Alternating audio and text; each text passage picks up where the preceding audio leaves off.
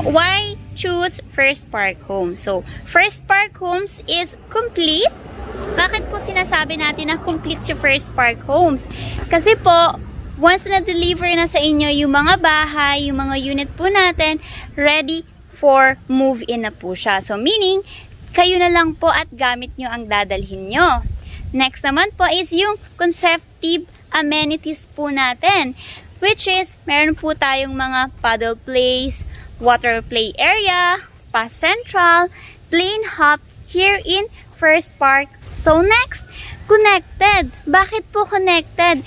Because yung life essential po here in First Park Homes is nasa along the highway. Meaning po, very accessible po ng First Park po natin. Kasi hindi po siya masyadong looban and then nasa main road po siya. Then the last is convenient. Bakit po convenient? Kasi po, we have five easy steps here in your buying process kay First Park. So, dito hindi po mahihirapan ng ating mga OFW, mga single mom to get property here. So, later pasukin po natin yung unit po natin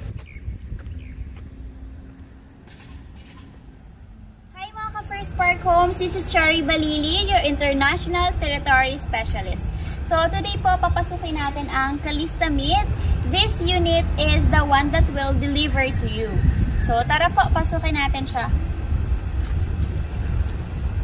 So our Calista Mead has a floor area of 40 square meter and a typical lot area of 44. Tara po.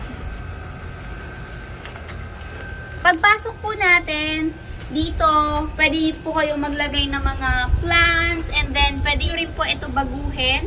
Pwede nyo pong ipa-tiles, ipa-rough tiles para mas presentable and maganda po yung parking po nila. So, ito po yung unit na deliverable po natin. Upon turnover, naka-steel door na po siya. Naka-double lock na din po. And then, upon receiving, naka-vinyl planks na po siya. Then, ang mga walls po natin is fully painted na po. And, meron na rin po siyang handrails para sa ating stairs.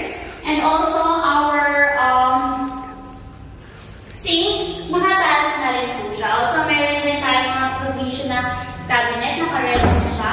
So, ayan po.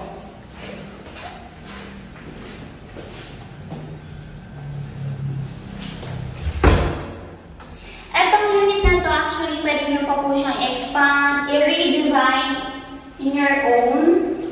So, ito po, yung mag-dirty kitchen, laundry area natin. Also, yung back door po natin is steel door. And for our CR naman, meron po itong um, door. Pagka turn over po sa inyo, it's PVC type. For the toilet and bath po natin, naka-tiles na po yan siya, complete finish, with shower head, sink, and then toilet. So for our stairs, uh, the first six steps, it is uh, concrete, and then uh, nakabuda na po. Yan. So here in Calista Mead, we have two bedrooms. This is the first room.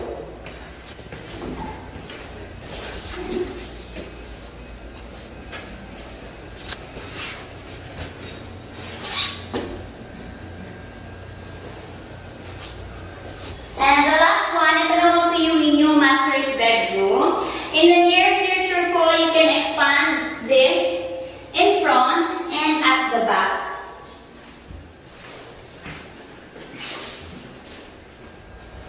Ayan, so nakikita po nila yung nasa likod. Nakaabang na po yan for provision. Pwedeng another bedroom or um, second toilet and bath.